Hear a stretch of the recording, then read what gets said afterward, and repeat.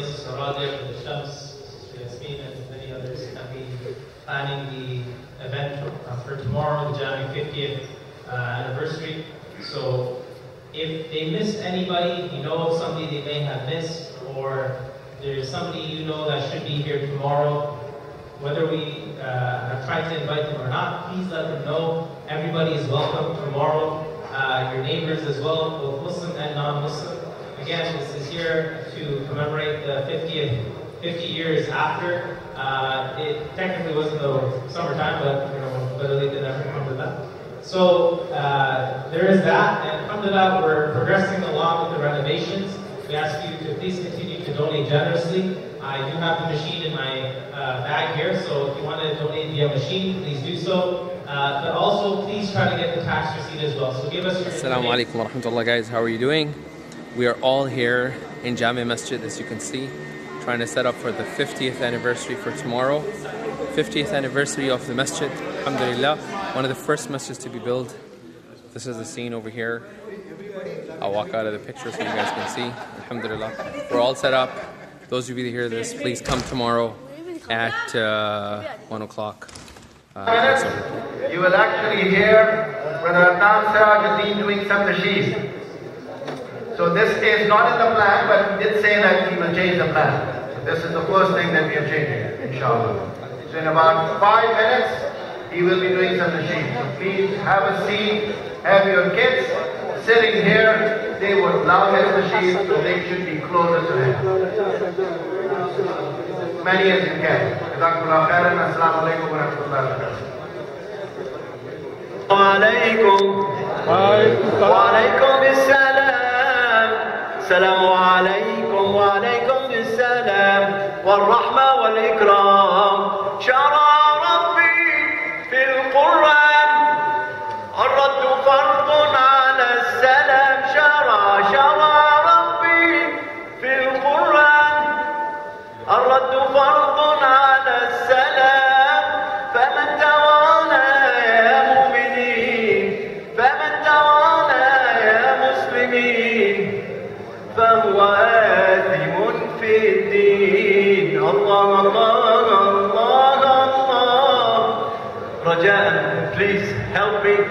what I'm saying. Allah, Allah, la ilaha illallah. One, two, three. Allah, Allah, Allah.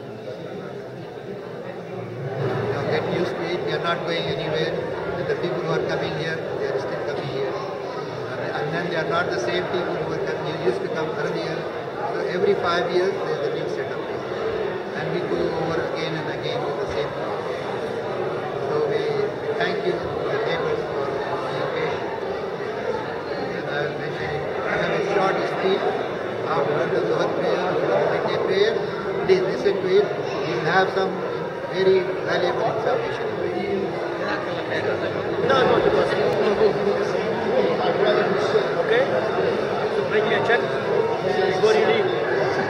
give me one million. I that you are, I have one million.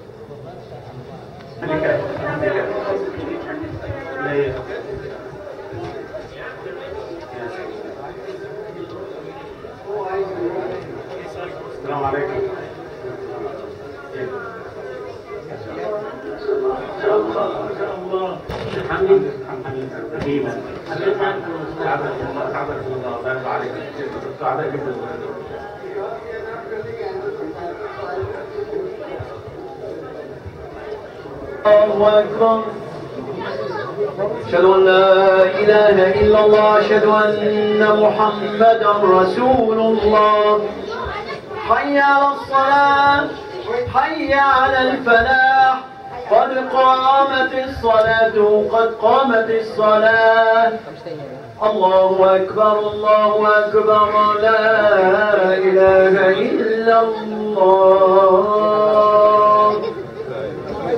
But I, I do it the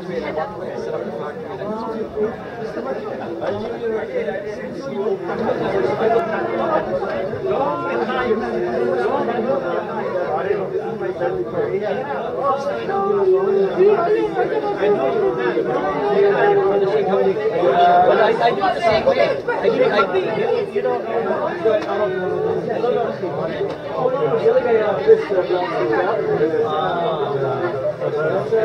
يا أيها الذين آمنوا اتقوا الله حق تقاته ولا تموتن إلا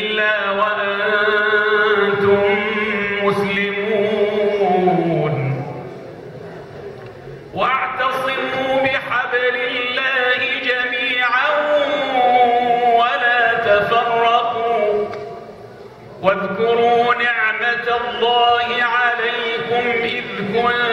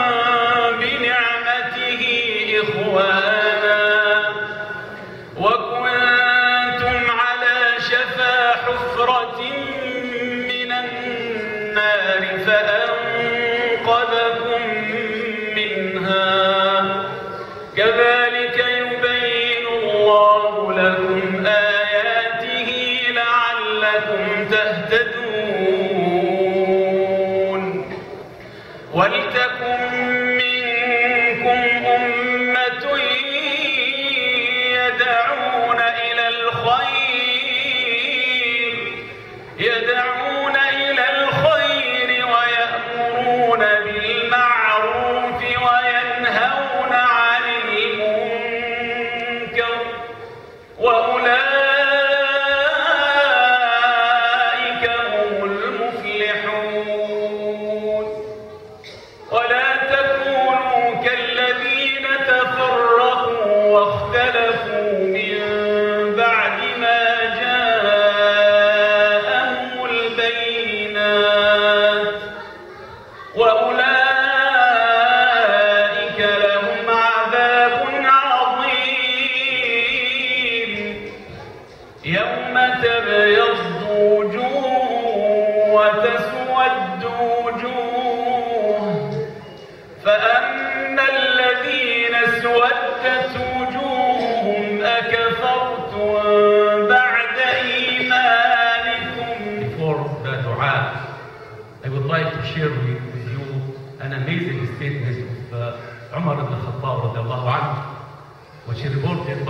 al-Tirmidhi رحمه الله عز وجل.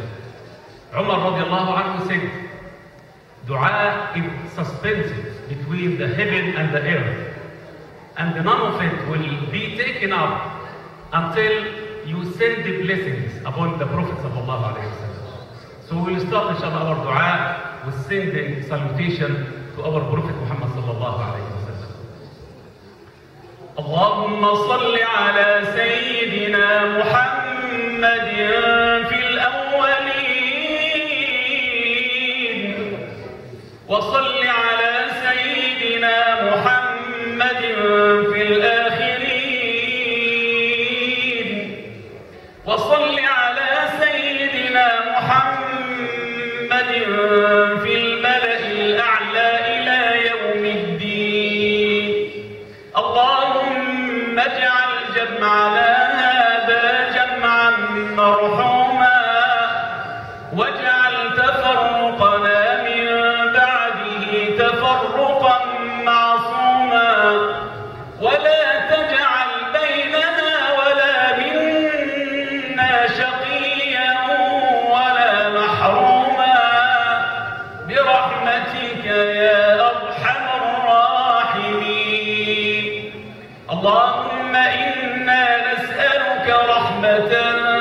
تهدي بها قلوبنا وتجمع بها شملنا وتلم بها شعثنا وتصلح بها ديننا.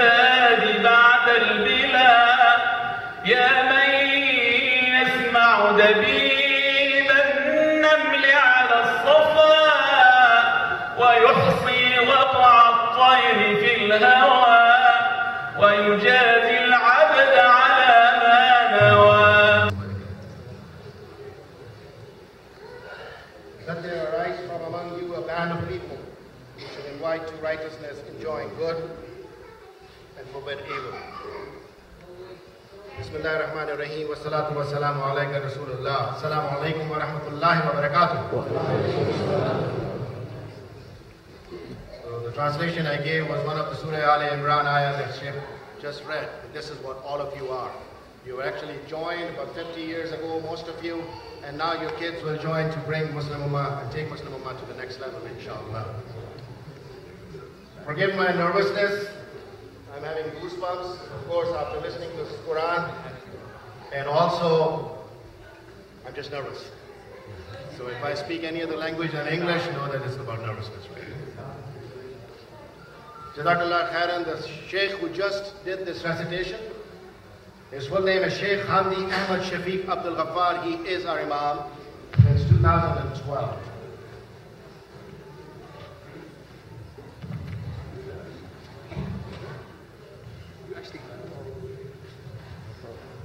From Al-Azhar. He is from Egypt, and we are blessed to have him as one of the current Jami Imams. And I also want to welcome all of you, the former Shayukhs, the former imams, the former khatibs, the former volunteers, the current volunteers, the current khatibs, sisters, brothers, kids, to this momentous occasion of the 50th anniversary of Jami, Jami reunion. We're just calling it uh, reunion. We don't, we didn't want to make it a big fanfare so that we are all here just talk about our past. It is my privilege now to introduce the next guest. And I'll just give you two numbers for him 36 and 48. In fact, there is one more 45. So he has been associated with the masjid for 48 years. He moved into the neighborhood 45 years ago. And he's been employed by us for 36 long years. And I know I don't say the word years right, but my daughter is not here to correct me. So I remember about 20 years ago, there was a continuous improvement consultant from Japan, and he told me about something which actually associates this with this brother. I think all of you know him. And he said, Nabil, do you know how to never work another day in your life? That's not Brother Amjad, by the. You fall in love with what you do, believe in what you're doing, and strive to continuously improve. I present to you Brother Amjad Sayyid. Assalamu alaikum.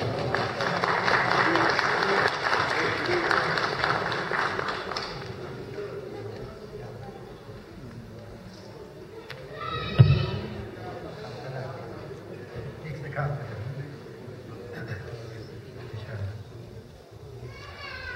Alhamdulillah, Alhamdulillah, Alhamdulillah.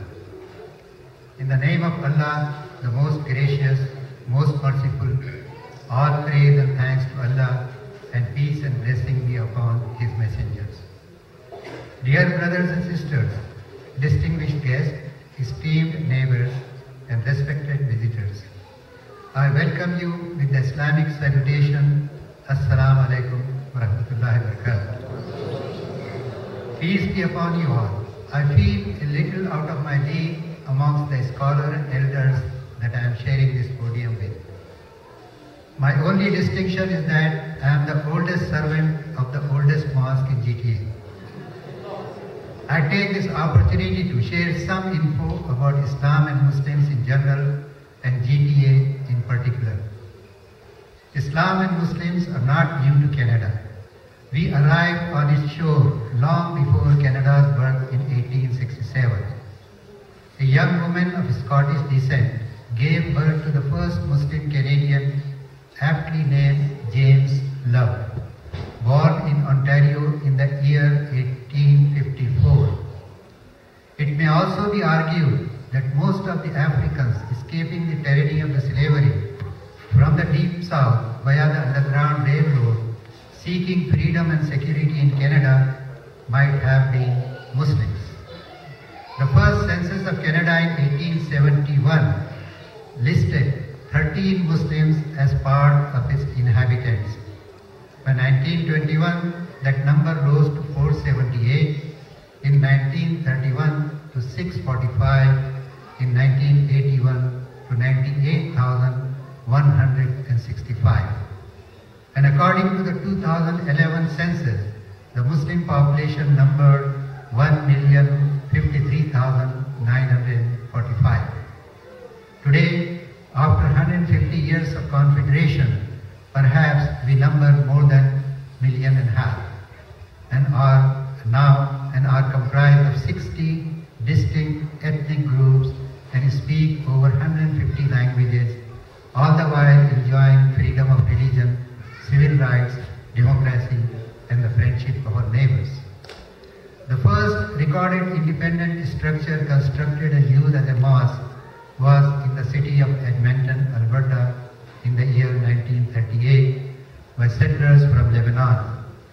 Eventually, it fell into disuse, put on wheels, and moved to be preserved as a historical building. From that humble beginning, the Muslims spread their wings across the great expanse of Canada, from Atlantic to the Pacific, and from Great Lakes to the Arctic. The landscape is dotted with mosques, both big and small, functional and beautiful. Close to half a million Muslims or more call the GTA home. The history of Muslims in these parts cannot be shared without giving the due credit to Jami Mosque and its founders. European Muslims from the Balkan region, mainly Albanians. In 1964, a storefront on Dundas Street, the forerunner to Jami Mosque, was bought and converted into a musalla. In 1969, it was sold to buy a larger church on Boustead Avenue in the upscale neighborhood of High Park, which is where we are now. During the early years, there was a conflict between the founders and the newcomers. Bearing that tumultuous period, the Jami became a home away from home without prejudice for a vast majority of Muslims coming from all corners of the world. Jami Mosque was a pioneer in starting new programs in Toronto, an Islamic school, funeral service, the Islamic Housing Corporation, just to name a few from a long list.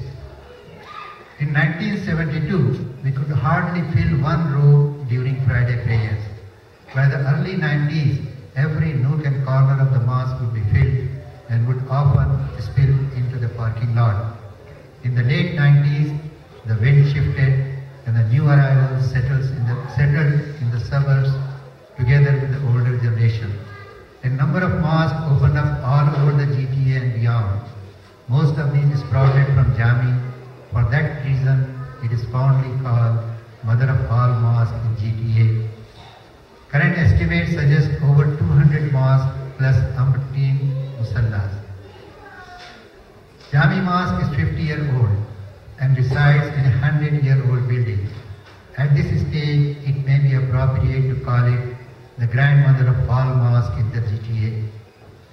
Finally, words cannot express the gratitude we feel towards our neighbors in the aftermath of 9-11 when public and media attention was focused on Jami and when the tragedies at the mosque in Quebec City and the New Zealand unfolded, you, dear neighbors, graciously stood by us and provided the much needed support and comfort. On behalf of ISNA Canada and the congregation of Jami Mosque, I thank you from the bottom of my heart and I hope that our next 50 years together will be as useful and fruitful. God bless you. reminds me of something which I heard a long time ago. As you get older, don't slow down. There's not much time left. The guy, every, the person that I'm going to introduce next, every time I see him, I see more energy in him. Uh, he is a muallim for me. He's a teacher, be it as a father, as a grandfather, as a counselor, as an imam, as a khatib, or as the first school administrator and teacher right here at Jami almost 30 years ago. You go to the World Wide, World Wide Web, now called the internet or whatever you want to call it, you will find everything about him. So I'm not going to tell you about all the details that he has. Again, this is not working. He is, just like Brother Amjad is the face of Jami, he is the face of ISNA and also most of the masajids, most of the shayukhs know him and actually he has taught them all of them. No one else but our own Sheikh Abdullah Idrisa.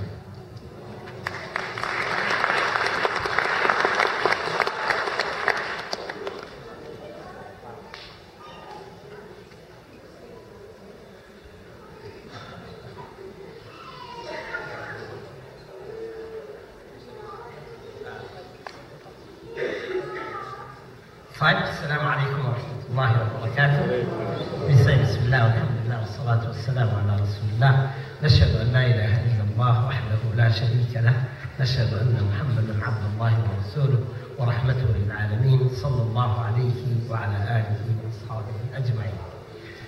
My dear respected elders, there are some elders here, a few of them, not too many.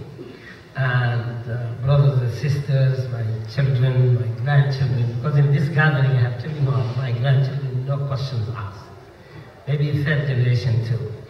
Uh, first, I just want to say Jazakumullah khairan, and I'm very happy for the organization that, uh, or the idea of getting us together here. Because now I met some brothers, my Great spot in all our hearts.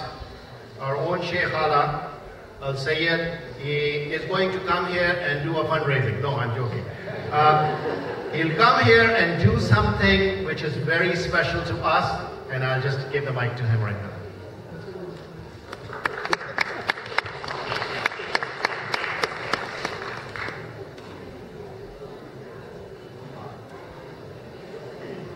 for coming. Uh, as Dr. Mehdi said, it's a great pleasure to see your sisters and kids on the main floor as opposed to the basement. Uh, I don't have much to add uh, beyond what has already been said except the following. Uh, this masjid, Indian masjid, it's an iconic church which has become an iconic mosque in a multicultural neighborhood with mostly Christian neighbors who have been extraordinarily understanding in a very Canadian way, showing great patience to all the immigrants who obey no traffic rules and no parking rules for the longest time. It's only now that we are getting organized. So it speaks to this greatness of this country and this Islam and this masjid and the people who come here. In another way, this is a very Canadian mosque because like Canada's demography keeps changing, the demography of this mosque has constantly been evolving. Originally Albanian, then Arabs, then Indians and Pakistanis, then primarily Somalis, and now totally multicultural in the very difficult post 9-11 period, when we used to come for our Friday prayers from downtown, I used to bring my colleagues from work and some friends, Canadian friends, to make them sit at the back. I said, look at this audience, this is a virtual United Nations. And this virtual United Nations is very Islamic and it's very Canadian. So this is a great blessing, what Dr. Mehdi said, that this multicultural uh, religious grouping from around the world, which is Islam, has found a great home in this great multicultural country called Canada. So we say dua to Allah subhanahu wa ta'ala that for the next 50 years this masjid continues and grows and continues to have the patience and understanding of all the neighbors. Thank you very much.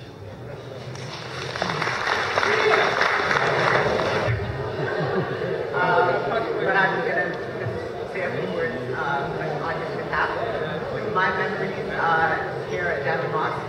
So uh, it's about uh, over 30, over 30 years um, ago, when I was in my uh, early teens, is when you know I was part of the, the community here, mashallah, and um, the memories that I that I have have really uh, made the foundation um, of my Islam, just being a Muslim in Canada and a Muslim in Toronto. And uh, just from the, the things that my parents um, started, like the, the, the Girl Circle and the Boy Scouts, um, and when the girls' guides didn't want the uh, Muslims to be a part of it because of their clothing, they started the Girl Circle. And um, the youth groups and really laid the foundation for young people um, and Muslims in Toronto. And I'm, I'm looking out here and I see a lot of fa- familiar faces that, you know, the people that I grew up with and um, the sisters who helped tirelessly in this mosque. And really, it, it really is um, the women who really uh, worked so hard to develop so many programs in this mosque and are, you know, the basis and um, the foundation for all of us, uh, I still consider myself a young person, but young people, and, and the seed that they planted has now uh, gone on to my children and inshallah their children. So, um, and I know my, my father would uh, speaking a sentiment, of course, right? So um, just basically on behalf of my father and my parents and um, send his uh, warm salams to everyone from the warm country that he's in. Um, and uh, yeah, That contribute to the development of the Muslim community in Canada. Go ahead, Dr. بسم الله الرحمن الرحيم والصلاة والسلام على أشرف المرسلين سيدنا محمد وعلى آله وصحبه وسلم. Uh, I came to Toronto in 1976, September, and I uh, lived in an apartment at uh, King and Jameson for one year. And, uh, and I chose that location because I said it will be close to Jami Mosque and close to my work in downtown Toronto. But after one year, I moved to Dornell, and after the year, I moved to Moody to Vale, and again, I moved to Side Islamic School at Sherway. The reason I'm saying this is because uh, we used to have, I was in the administration of Western Toronto, they chose me or selected me, or whatever you can call, to be in the administration, but, uh, but uh, I, I, we are missing actually few people from the administration at that time who are very dear to my heart. We are missing Dr. Jinnah, who was very sick, he, couldn't, he could not join us, and he did contribute a lot to this mosque. We are missing also Brother Abdul Nanim Abdul Fattah, who is very sick, he cannot come today, and also he did contribute a lot to this mosque. We are missing Brother Mazharul Haq, he passed away. He also did contribute quite a bit to this mosque. We have our brother Sayyid Al Hassan uh, with, with us here, and he also uh, contributed a lot. And as far as I remember, we have brother Murad, and you have brother uh,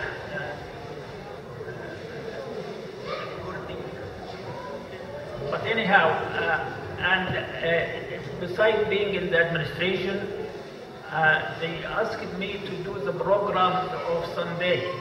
It was what we used to do every Sunday after Zuhr. We used to invite speaker who would speak to the audience, the audience, and this was the program. So I used to drive myself and my family every Sunday here to Jami' Mosque uh, to attend uh, Zuhr prayer. This was Sunday, and then I introduced the speaker and uh, some of them are here. Uh, we used to get brother uh, Abdul Hayy Patel, uh, or Sheikh Mustafi or Sheikh uh, Ibrahim and many others actually, but this was uh, uh, my contribution for many years, or one of my contributions for many years. And then, uh, you know, you can look to Jami Mosque as, as a tree, and this is the root actually, this is the fruit and the trunk. This mosque is the root and the trunk of the tree, and there are so many uh, uh, places, mosques and schools that actually started from Jami Mosque. People come to Jami Mosque and they uh, gather together in groups and uh, they decide to buy a mosque or a school. and I will just uh, mention to you, uh, in, uh, we started the school, the Muslim Community School, which is called the Isna Islamic School now, from that mosque. And we actually uh, had, had a meeting with 19 brothers and uh, we decided to buy the school and uh, we asked one of them to contribute one one thousand dollars and all of them contributed one thousand to the school and we have some of these brothers sitting here right now and uh, they may remember that and alhamdulillah we, we bought the school which is in Sherway and the school in Sherway actually you can imagine the, the, it grew up to the high school, Isna High School and the Isna Center. So all of this, the root is here. This is the root. It started from here. Another branch is the uh, is the ICCO, the Islamic Community Center of Ontario, and and uh, and uh, also and the, the brothers, few brothers from this from this, this mosque. They started the ICCO, and then ICCO, the Olive Grove School, uh, grew up to Olive Grove School, and and the MAC, which is a very big organization in Canada, uh, and there are so many uh, contributions from that in many cities, cities in Canada, and you can relate all of this to Jama Mosque. And also we have uh, the ICNA brothers, I remember the two Shawdil brothers, they used to come and they sit in the ICNA circle and uh, they started their work from Jama Mosque and then they have Al-Falah School and the other mosques in, in downtown and, and other places and they have the ICNA relief. And also this, if you remember, the Jerusalem Fund started from Jama Mosque. We have Brother Abu Basim who is here. He actually started Jerusalem Park Muslim Fund and got it growth and actually he, he contributed many millions of dollars into to Palestine. And also Islamic Relief uh, started from here. I, I, I was one of the founders of Islamic Relief and now we raise uh, about 40 million every year to help the needy over, over the world. So you can relate Jami Mosque actually to all of these organizations and all of this contribution in the city and in Canada and and uh, the people who actually started this work they will get the reward as long as these places are, are operating and working. And I can't go for much much longer but for the sake of time I will stop here. Maybe some some other brother can can add. Alhamdulillah wa salatu wa salamu ala rasulillah wa ala alihi wa ashabihi ajma'in uh, for me, Jami Mosque was the beginning of my implementation of fiqh. As I had learned in theory fiqh in India first and then Madina University and then of course I went for my studies in U of T and it was in Jami Mosque first that I had an opportunity to practice fiqh in action and to implement it in a milieu where you have not just one school of jurisprudence, but so many. I came here to Toronto in 1972 as a student, and thanks to my very dear brothers from Egypt, they were the products of Ikhwan, Muslim Brotherhood, and they had that true spirit of Islamic Brotherhood. They were the ones who forced me to deliver regular khutbahs in Hart House. And once I got my master's, they purchased this mosque, MSA purchased it, and they selected Hisham Badran and me to operate this masjid, to conduct khutbahs and lead prayers and offer rollings and dars.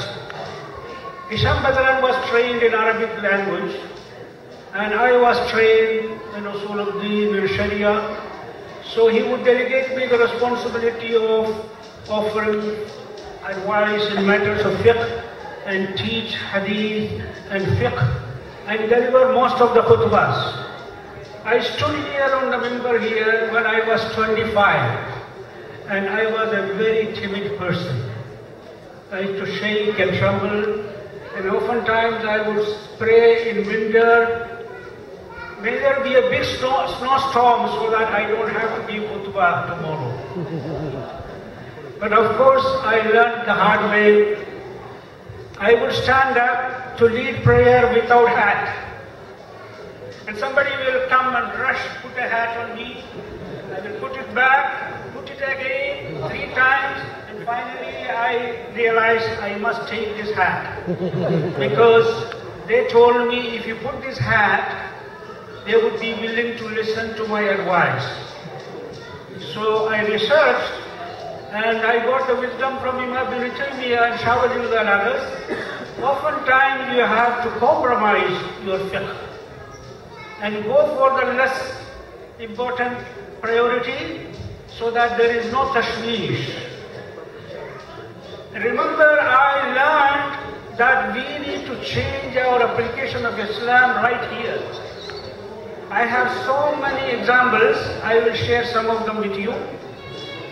I was standing here on the minbar once, a brother comes, stands, positions himself right in front of me. In the course of my khutbah, he decides to take off his pants. I became speechless, I thought he is going to strip himself down completely. Then I realized, Alhamdulillah, I have to say Alhamdulillah in my heart, because he had pajama. Because he comes from a culture that you are not supposed to lead prayer wearing pants. So I had to change this kind of understanding one by one. I still remember I was taking Mikira two high school students came with the teachers. Some of them were women.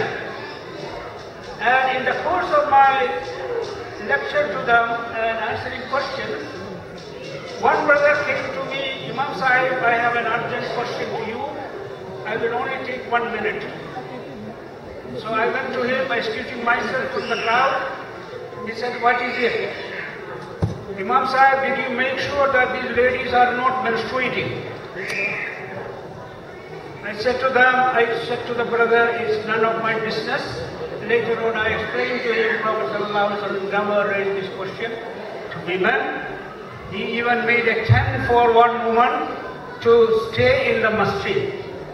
Okay, anyway, in the process of acting as an imam, I had also to learn at that time how to mop the floor, how to sweep, because there was budget was very limited for the masjid. I came from a landowning family in India. We had three servants inside the home and a half a dozen outside. So I never knew how to mop the floor. So I would stick, put the stick right straight and Hisham Badran would come and teach me how to you know, the floor. And he gave me some lessons and both of us were cleaning the masjid, shoveling the snow. And by the way, he was a very hospitable man, an Arab. I enjoyed his maqluba. Up till now, I enjoy maqluba and I learned how to cook it. And one of some days I cook it for my family. This was another learning process. And I have a lot of stories to narrate to you. Dr. Malini said only he did not finish that because I had to leave this masjid because I thought inviting non-Muslims into this place, they prefer to come here in large numbers actually. Oftentimes in a month we would have four or five groups. And the administration said, Innamal mushrikuna najasun. The mushriks are najas, they are not supposed to be in the masjid. I had to argue with them, debate with them. Finally, I resigned from a masjid And then I was Imam in the Islamic Foundation of Toronto for 10 years, where one sister of, had embraced Islam. After she had embraced Islam, she listened to the khutbah. After the Jummah, I asked her, What's your impression of our sermon? She said, I am not used to hearing voices without looking at the speaker. At that time, I said to myself, Astaghfirullah, we have distorted this religion. There was no barrier in the masjid of Rasulullah. And then at that moment, I decided, if we are going to have another place, we will make sure that men and women will occupy the same floor without any partition. And I got a question or the fatwa about Islam. All Islam.net at that time. Imam Kutty, why are you removing the partition from the masjid? Is it that you want to look at women while delivering the khutbah? I said, no brother, this was the way the Prophet organized his masjid. I cannot claim my masjid is better than that.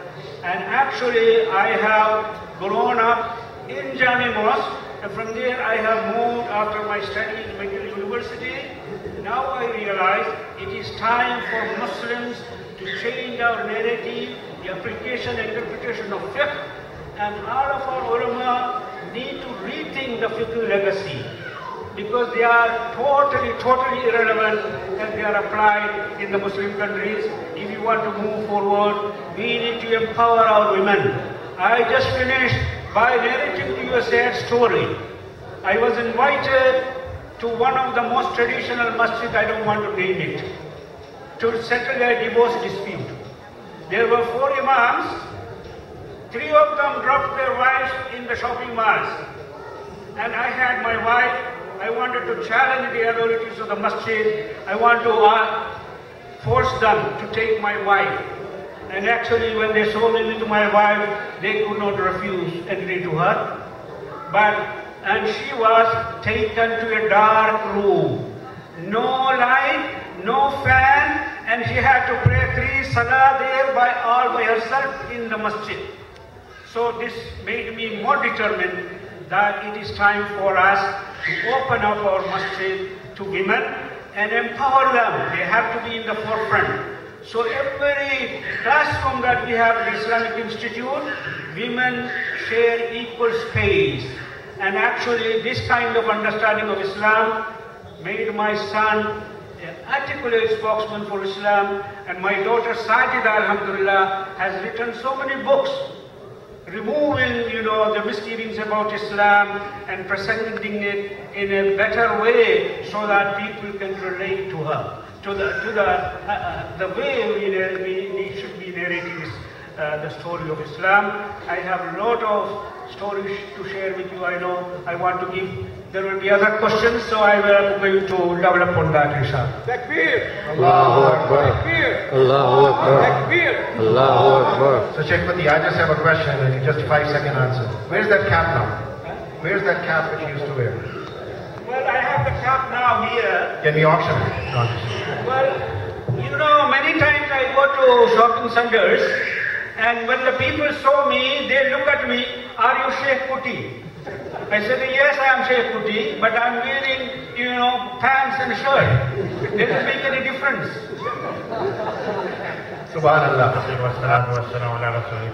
I think the question cannot be answered in few minutes because community has evolved, developed through this masjid. So that is the shortest answer I can give because when I came here to this country, that time Muslim community was, some number of them were not so much mindful of Islam. They were, uh, so only those who were looking to preserve their iman look, were look for masjid. People have come, have come from many parts of the world, but there were some who were serious about Islam. They came to, and this was the only masjid in that time. In fact, I can hardly see any woman wearing hijab in those days. Anyone with a beard, even I think I was the only one that had a beard when I came. So it, it, that atmosphere was completely different. And, and that time, having a masjid here, which opened, in this masjid opened in 69 September, I can well recall that the month I came here. But I was a more, uh, when I came here, I was first introduced to Islamic Foundation, which was again an offshoot of this masjid. They broke away from this uh, congregation and they were praying at the uh, St. Mary's School on Bathurst and Adelaide. So my host introduced me there and I started being associated from Islamic Foundation for a number of years. And it was only after uh, reacquisition of this, that is another story which I have written, uh, the history of Jami Mosque, which was on the website for a number of years. But anyone interested can have me. It would take me another hour to tell you the story of uh, how it was reacquired in uh, 1973 at that time. But uh, some of the pioneers are sitting here, so I'm very happy to see. So I never thought myself that I would be sitting here celebrating 50 years uh, in this country or 50 years in this masjid. And may Allah preserve this masjid and accept the contribution of each and everyone, but it has helped develop the community, nurtured Iman among children from those who were knowledgeable and learned in Islam, as well as refreshing atmosphere for many adults at that time.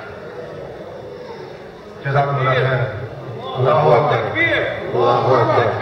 Allahu Akbar. I also like your cap, sir. I think I am sitting with four who are really salaf in this in the regard of this masjid. So I am the khalaf of them. Right? so may Allah subhanahu wa ta'ala make us the khairul the khairul salaf. Really, I will talk about this uh, first point in three areas I want to cover it. First thing is that that I remember one time Umar radiallahu anhu was sitting in front of Kaaba and he was sitting with some other Sahaba and he said, Can you dream? Can you have a wish now?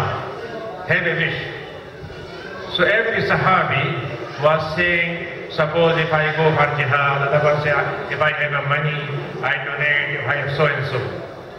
Umar was totally different in his, in his wish. And he said, if I have a wish, I want to see people like this, this, this Sahabi's name, the naming name. If I have in front of these Sahaba, I use him for the service of Islam.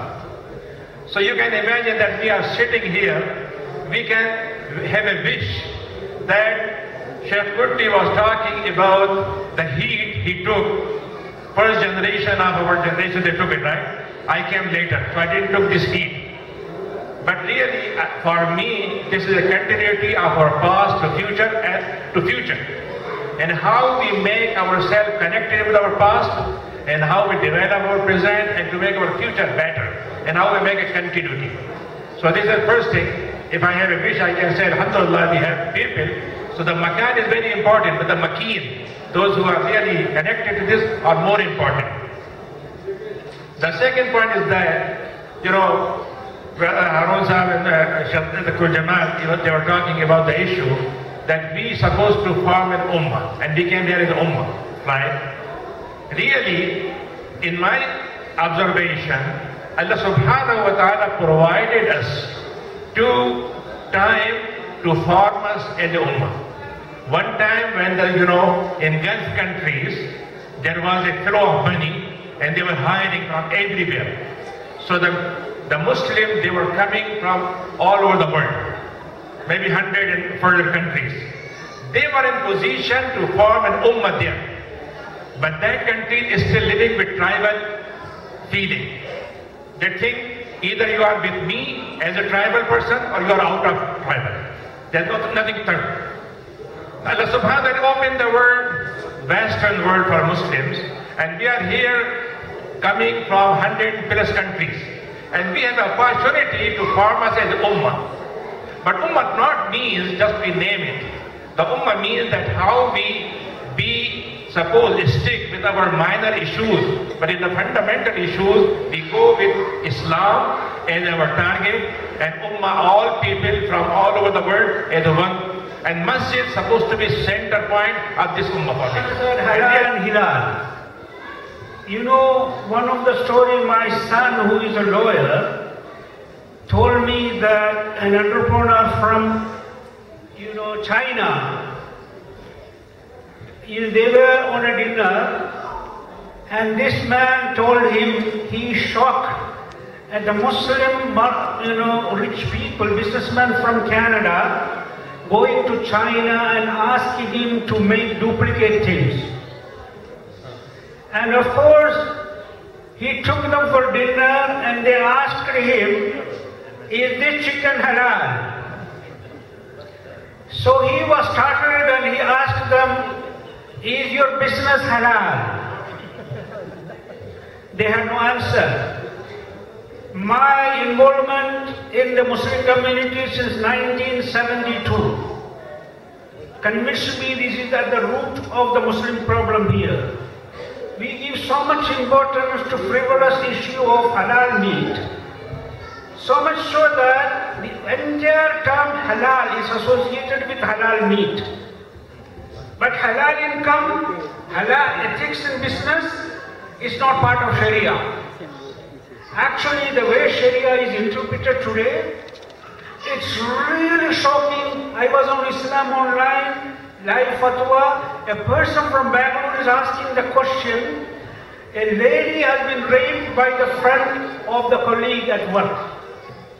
And the man is thrown in jail, and the masjid decided to get the man out of jail by suggesting that this man give his daughter to the rapist. And the question posed to me is, is this your Sharia? I said to myself, no, it is not my Sharia, because you know what?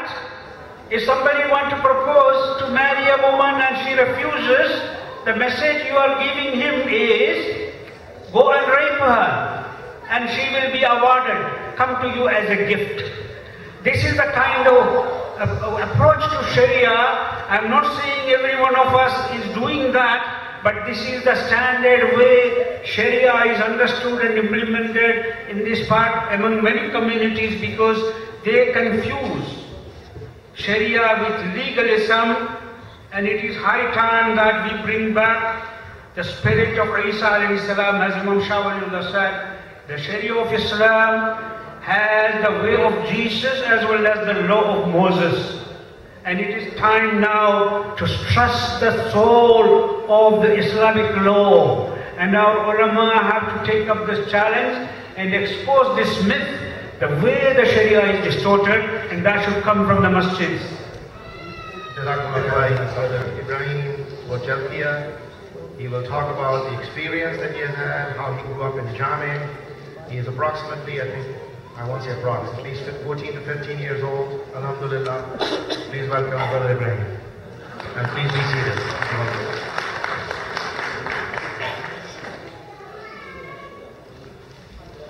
السلام عليكم ورحمة الله وبركاته بسم الله الرحمن الرحيم كما قال الله تعالى في بيوت الذين في بيوت في بيوت الله إذا إذا أذن الله إذا أذن الله في بيوت أذن الله أن ترفع ويذكر فيها اسمه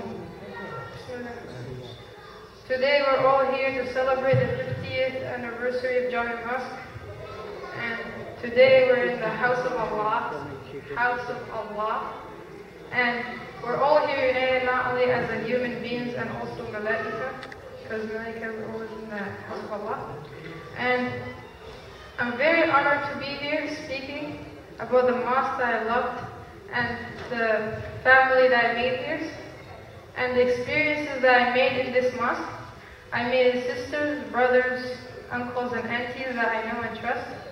And also, I want to uh, I want to say that this day is the day that we celebrate and we're proud of. And today I'm going to talk about the classes too. In, this mosque, we also have like uh, we read and uh, memorize Quran with read, and also for the kids, we also they learn Arabic like with alphabets and and uh, like reading the first hizb of Quran. And um, in the end, I may Allah please connect our hearts and physically and mentally to keep going to this mosque. Not only this mosque, but other mosques, because all of them have Allah.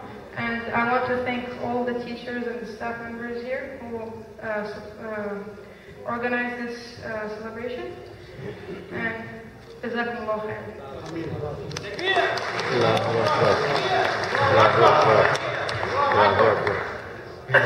Mother is in the audience. Sister Wahiba must be a very, very proud mother. Can she just stand up?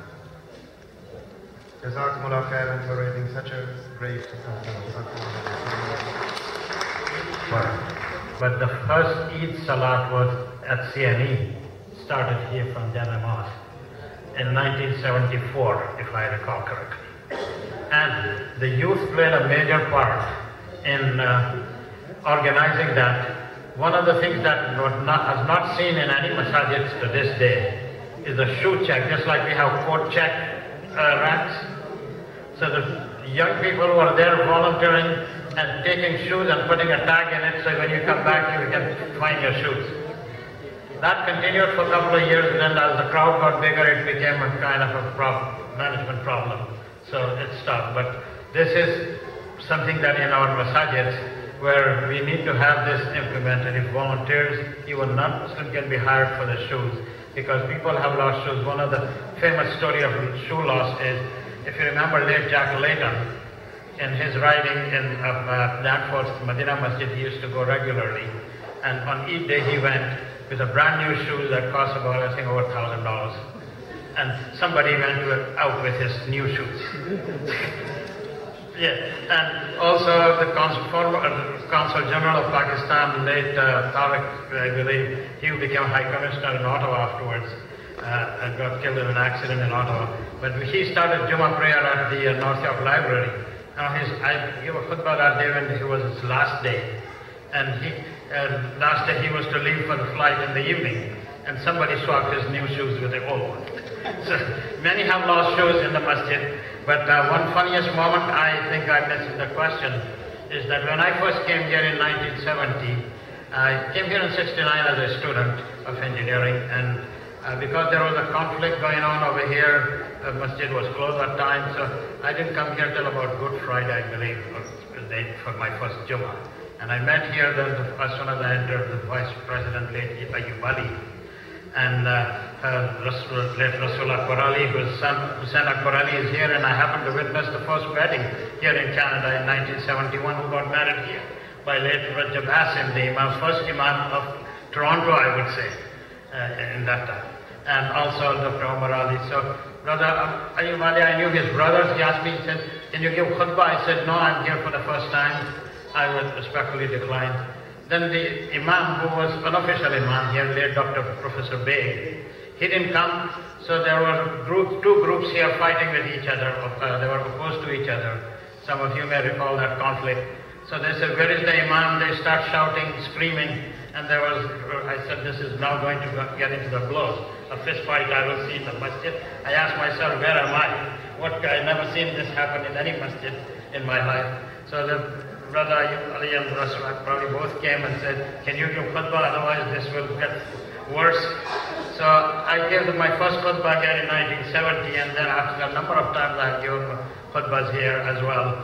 So this is one of the funniest story I can recall. Another story was uh, Jamaat al-Tabligh work also started here. This was the Markaz. That first that, that stayed here with Sulet Karano Amiruddin. And some, uh, every the month, they, every week they used to have an istima here. Weekend they would come and sleep. So some of us brothers one day were sleeping. This is uh, Brother your time when Hisham Badran was here. And Zuhur time came, they were still sleeping. So Hisham, Brother Hisham Badran gave adhan after Hayal al-Falai said, As-salatu khayrun minan People were sleeping, he tried to wake up. Everybody suddenly jumped. Hey, this is Zohar Azan, not Fajr Azan. So you guys are sleeping, so to wake you up. Is everyone awake now? Because we can stay till. Jazakumullah khairan. Actually, you mentioned uh, Hussain name as well. Uh, yeah. He is He's here. right here. Yes, he is here as well. So I will actually uh, request uh, Sheikh Hamdi and Sheikh Abdullah, please come on the stage. He's going to present something to us, and you just stay here, Shaykh. So we will make, take this opportunity for that presentation. And you also mentioned the financial, the other stuff. So financial services, as Dr. Ashraf has mentioned, also started here. So there's a lot of things which have happened which we may have missed. So Brother Hussain Akbar Ali is going to unwrap this. He, uh, this is the thing that he got from King Faisal. You have to promise me how you will serve. Two minutes, I take the mic away. Jazakallah, Assalamu alaikum wa rahmatullahi wa barakatuh. Uh, I am deeply honored to be among all these scholars who over here.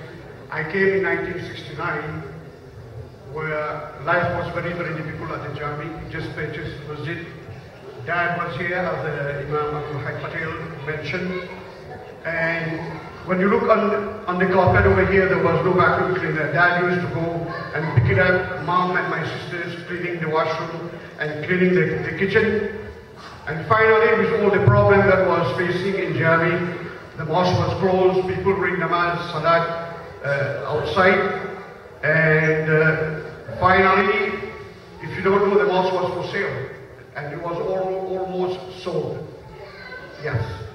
My dad was crying at that time when we get the news that the mouse is sold almost.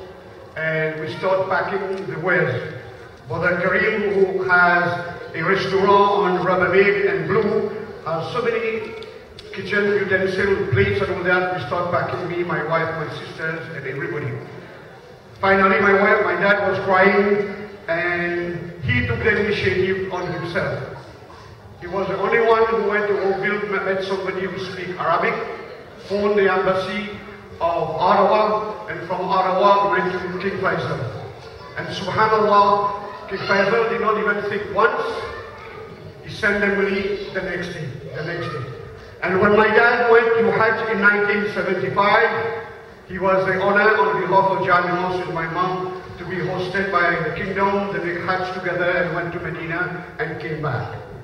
And from the blessing of Jami Mosque, my dad was very, very cautious and very, very humble to continue to work with MSA, to come every Friday to open the mosque and to prepare the place for Salatul Jummah. Unfortunately, 1979, during Friday for Salatul Jummah, while he was running to catch the bus to come here, he got a heart attack. Eventually, he passed away in 1979. But in 1975, I will just take 30 seconds, while he was preparing with my beloved mom to go to Hajj, Hisham Badran was here holding a letter in Arabic and give my dad. He said, when you go over there, go to the door of the kingdom and present that letter. So my dad did. When he presented the letter over there, he went straight to King Faisal and they came at the door with the army to meet my dad and my mom.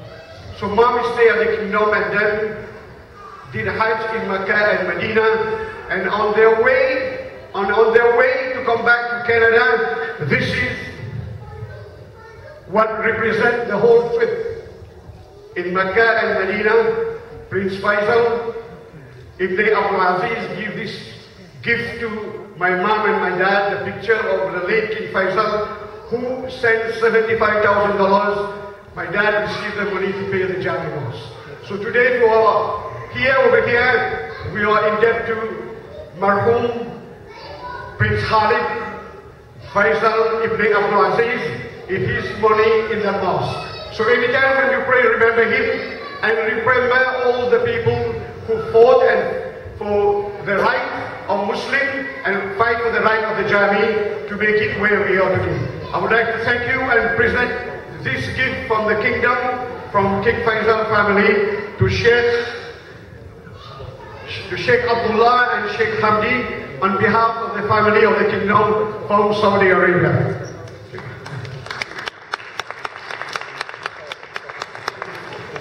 Uh, Brother Hussein, it was $110,000 I received a check.